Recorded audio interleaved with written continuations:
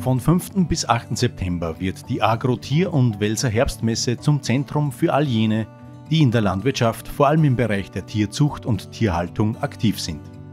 Hier dreht sich alles um die neuesten Trends, Innovationen und den fachlichen Austausch.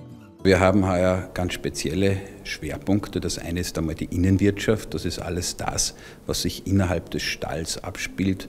Stalltechnik, ähnliches. Dann haben wir die Tierzucht, ist, glaube ich, auch ein ganz wesentliches Thema. Und natürlich haben wir den Bogen gespannt zum Endverbraucher mit dem Genuss total, das heißt mit einer Fülle an regionalen bäuerlichen Produkten. In der Halle 19 haben wir die größte Genusstafel, die längste Genusstafel in Oberösterreich äh, mit ganz vielen äh, Anbietern aus der Landwirtschaft, die hier äh, im Bereich der Direktvermarktung Schmankerl präsentieren. Landwirtschaft produziert ja für Konsumentinnen und Konsumenten und darum freut es uns auch, wenn wir hier ein Schaufenster der Landwirtschaft aufmachen können, damit man sich auch informieren kann, wie produzieren denn die oberösterreichischen Bäuerinnen und Bauern, was machen machen Sie denn? Wie nachhaltig agieren Sie?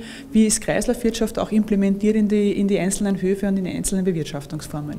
Neben den rund 280 Ausstellern bietet die Agrotier Bäuerinnen und Bauern die ideale Plattform, um fachkundige Beratung zu erhalten und sich mit Kolleginnen und Kollegen zu vernetzen.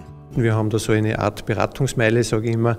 Äh, das heißt, das haben die einzelnen Fachabteilungen hier ihre Stände, wo man also über die einzelnen Sparten der Tierhaltung, äh, aber genauso über Pflanzenbau, über biologische Landwirtschaft, äh, über ähm, rechtliche Rahmenbedingungen, ich sage jetzt einmal Lebensmittelkennzeichnung und so weiter, sich informieren kann. Ein weiteres Highlight auf der Messe sind die neuen Live-Vorführungen Güllepark und Grünland Spezial.